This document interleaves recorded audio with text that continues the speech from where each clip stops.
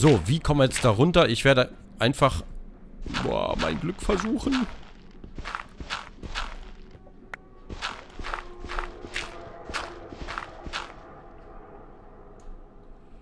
So.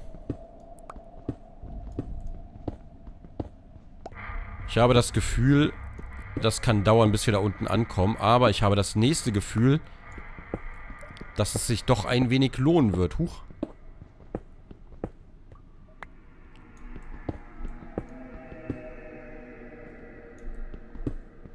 Wenn wir bei uns mit dem Bauernhof und so, ne, wenn wir da nicht in der Alpha, äh, noch in einer in Alpha-Region stecken würden, dann hätte ich richtig Bock, da wirklich so ein Höhlensystem auszuheben.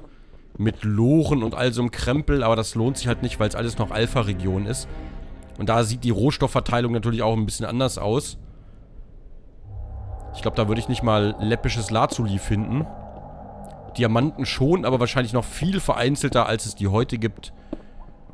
Da war Minecraft damals noch ein bisschen geiziger mit.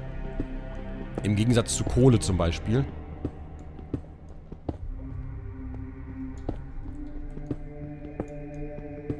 Alter, wie riesig das hier ist.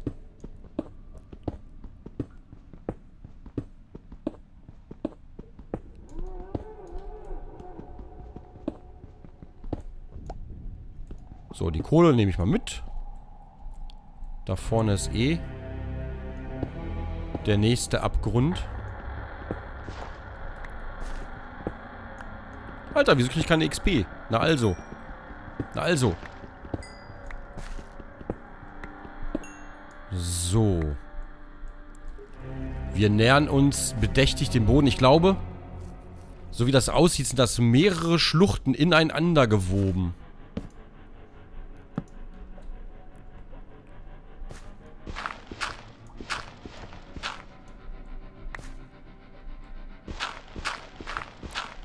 So, ich weiß... Ach, scheiße. Und da geht es auch noch um die Ecke.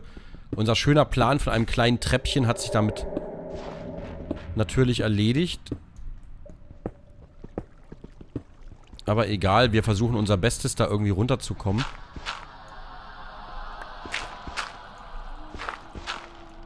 So, warte. Ach, Alter, ich gehe immer auf die üblichen Hotkeys, wenn ich Spitzhacke und Schaufel aktivieren will. Deswegen gehe ich immer auf die falschen Items, ne? Nicht wundern. Ach du Scheiße. Okay, pass auf, Freunde. Da muss ich hier um die Ecke gehen, wie es aussieht.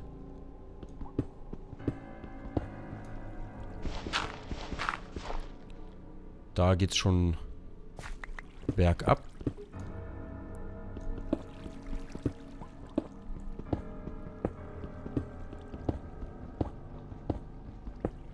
So. Und dann graben wir uns jetzt hier einfach in die Tiefe. Zweierbreite ist natürlich völlig übertrieben. Ach, scheiße, was habe ich denn da gemacht? Ach, gucke mal.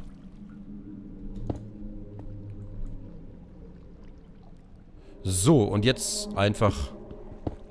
Ich glaube, es reicht, wenn wir uns dann hier runtergraben, oder? Dann, dann müssten wir theoretisch ankommen. Jawohl, und wir sind auf dem Boden der Tatsachen angelangt. Ich beleuchte das Ganze jetzt nochmal ein bisschen. Äh, scheiße. Alter, schon ewig keine Höhlenerkundung mehr gemacht.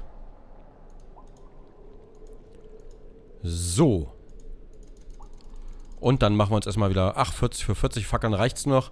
Wir haben leider kein Holz mitgenommen. Das war sehr schlau von uns. Also in diesem Falle bin ich wahrscheinlich schuld. Wieso eigentlich? Ich wollte doch unbedingt welches mitnehmen. Ich habe doch noch gesagt, ey, lass mal Holz mitnehmen. Und ihr habt mich nicht dran erinnert. Finde ich nicht gut. So, da unten der Skorpide. Und wir machen natürlich die Wasserquelle, schließen wir hier mal direkt ein. So.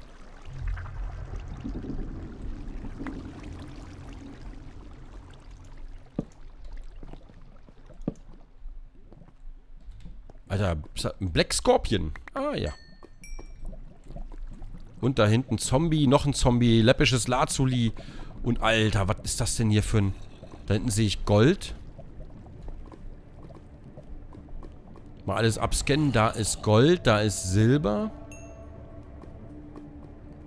Ein Minenschacht. Das heißt, wir kriegen auch wieder Holz, wenn wir uns bis da oben vorkämpfen. Das Ding ist einfach nur... Huch. Das Ding ist einfach nur, dass das hier alles sehr, sehr, sehr, sehr riesengroß ist. Und ich fürchte, wir werden uns verlaufen. Was ganz Neues, Gronk. okay.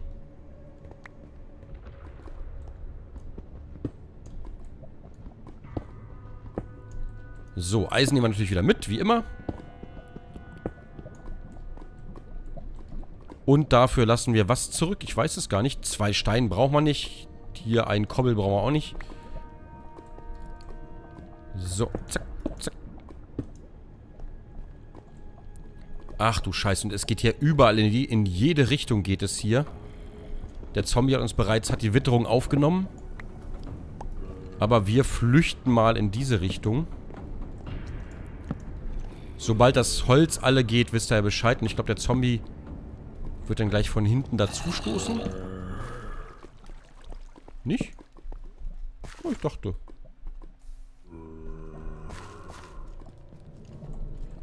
So, dann hauen wir uns mal hier ein bisschen... Also eisentechnisch, ne?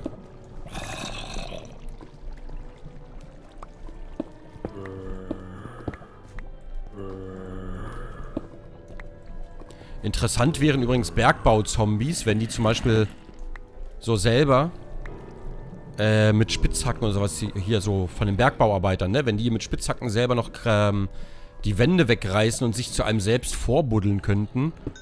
Scheiße. Wenn es das gäbe, das wäre wahnsinnig interessant. Ich lasse das Redstone mal da. Wir nehmen nur ganzes Decks, also ganze, ganze Dinger mit mit der Behutsamkeitsspitzhacke, weil sonst klumpen wir uns damit komplett das Inventar zu. Und ich glaube, wir werden hier eh noch ein bisschen was finden.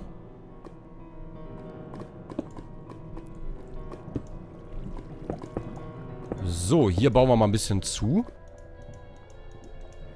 Und versuchen dann mal unser Glück mit Diamanten.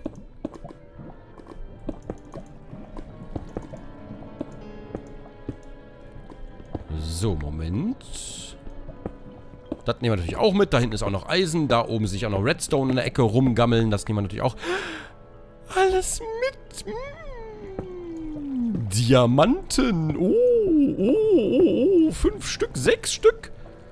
Und dann, dann dazu noch Redstone. Oh, das ist, äh, riecht mir fast nach einer Falle. Was schmeiße ich dafür weg? Dafür schmeiße ich natürlich alles weg. Ähm, drei Holz nicht. Die brauchen wir noch. Verrottetes Fleisch. Rohes Schweinefleisch werden wir nicht so schnell brauchen. Dann hole ich mir erstmal ganz kurz das Eisen. Und danach das Redstone, weil bei dem ich ein bisschen Angst habe, dass da drunter sich Lava befindet. Da müssen wir hier ein bisschen vorsichtiger sein. Wir haben... Äh, wo sind sie denn? Sechs Diamantenerze. Uhuhuhu. So, yeah. Und leckere Schweinesteaks. So, dann gucken wir mal. Ich glaube, dann werden wir hier wahrscheinlich wenig Glück haben. Mit Diamanten. So, wie ich es immer mache, ist dann immer normalerweise hier, zack, die Lava wegmachen und dann unter der Lava mal gucken, ob sich da vielleicht Diamanten befinden. Das passiert nur allzu häufig. In diesem Falle aber offenbar nicht allzu häufig. Und ich hätte eigentlich die Werkbank mitnehmen sollen, aber egal, wir kriegen noch Holz. Egal, komm, wir lassen die Lava mal Lava sein. Nicht so Lava, Lava, denn wir haben sechs Diamanten.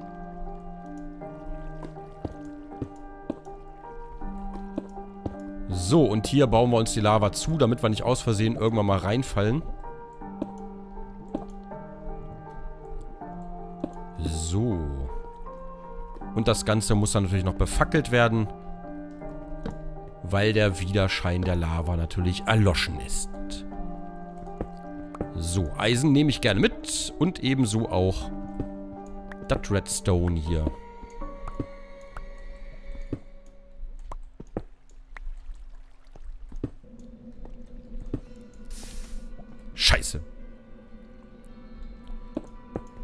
Fast habe ich es mir gedacht. Na egal, zwei Dinger sind leider verloren. Uah. Aber wir haben ja noch eine... Was war das denn? Achso. Wir haben ja noch eine Menge, Menge, Menge... potenziellen Redstones. Und hier war der Zombie vorhin. Auf die Griffel gibt's! Der Kollege hat uns noch nicht gesehen. Zwei Zombies sind's. Ach, der hat, der hat von seinem Kollegen das Fleisch gleich dabei.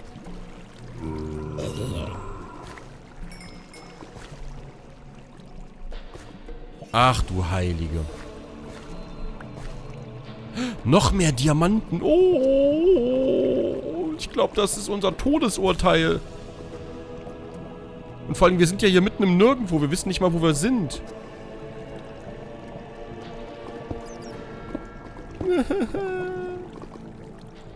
Ich will nicht sterben.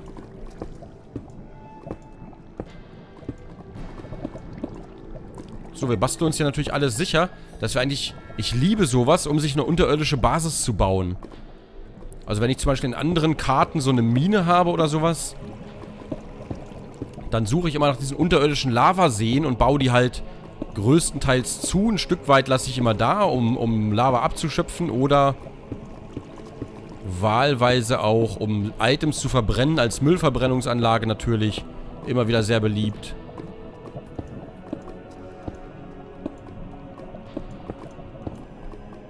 Und natürlich letzten Endes auch, um zu gucken, ob sich darunter vielleicht irgendwo Diamanten befinden.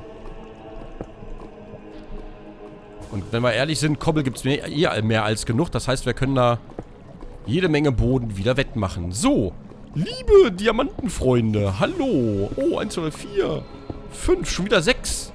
Oh, 7. Und da haben wir doch, äh, sind das Smaragde, wenn mein Auge mich nicht täuscht? Die haben wir noch nie mitgenommen. Haben wir auch noch nie gefunden. Smaragde. Ich freue mich.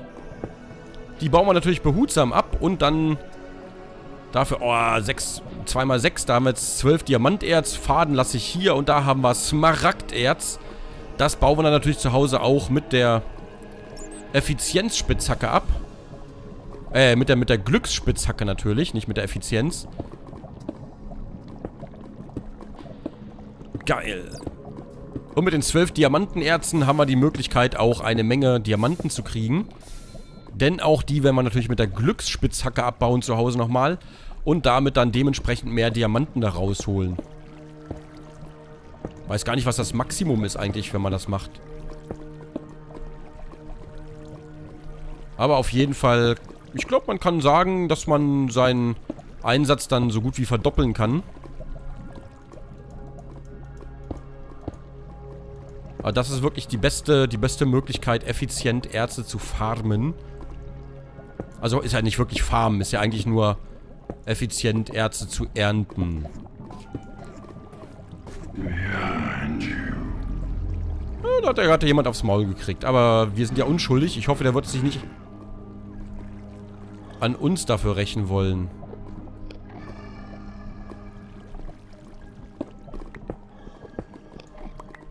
So, das holen wir uns natürlich auch raus. Das Redstone, das war nur eins. Sehr enttäuschend. So, und wir machen hier natürlich mal wieder mehr Fackeln hin.